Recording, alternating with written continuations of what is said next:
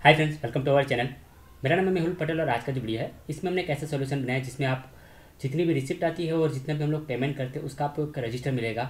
उसमें पर्टिकुलर जो वो पेमेंट और रिसिप्ट है, वो किस बिल के अगेंस्ट में है ऑन अकाउंट होगा तो ऑन अकाउंट दिखाएगा अगेंस्ट बिल है तो अगेंस्ट बिल दिखाएगा और बिल की वैल्यू क्या है, वो भी आपको दिखाएगा। तो टी लोड करने के बाद आपको नीचे यहाँ पे रिसिप्ट वाउचर रजिस्टर दिखेगा। यहाँ पर अगर आप एंटर जाके पीरियड चेंज करते हैं तो आप यहाँ पे देख सकते हो कि voucher number voucher date credit amount कौन सी पार्टी है, उसका पार्टी का नाम रेफरेंस टाइप अगेंस्ट रेफरेंस है, कौन से बिल के अगेंस्ट में रेफरेंस में है, वो आपको दिखाएगा, कौन सी डेट का है, और क्रेडिट अमाउंट और किस बिल के अगेंस्ट में बिल की वैल्यू क्या है, वो आपको दिखाएगा।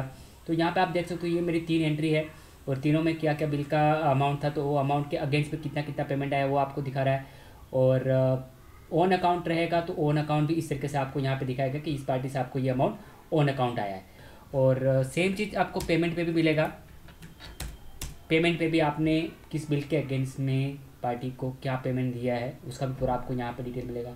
तो दोस्तों, इस तरीके से ये सॉल्यूशन काम करता है। तो आप से कोई भी इसका अगर डेमो चाहते हैं या परचेस करना चाहता है तो स्क्रीन पे जो नंबर दिखाई दे रहा है, उस नंबर पे आपको कांटेक्ट करना है। तो दोस्तों, इस में इतने अगर आपको वीडियो लगा लाइक करें शेयर करें और आप मेरे चैनल पर न हो तो सब्सक्राइब करना ना भूलें, क्योंकि मैं इस तरीके को वीडियो बनाता रहता हूँ और आपके साथ शेयर करता हूँ। मिलेंगे नेक्स्ट वीडियो में नई टिप्स और नए साथ। चलिए गुड बाय जय हिंद, वंदे मातरम।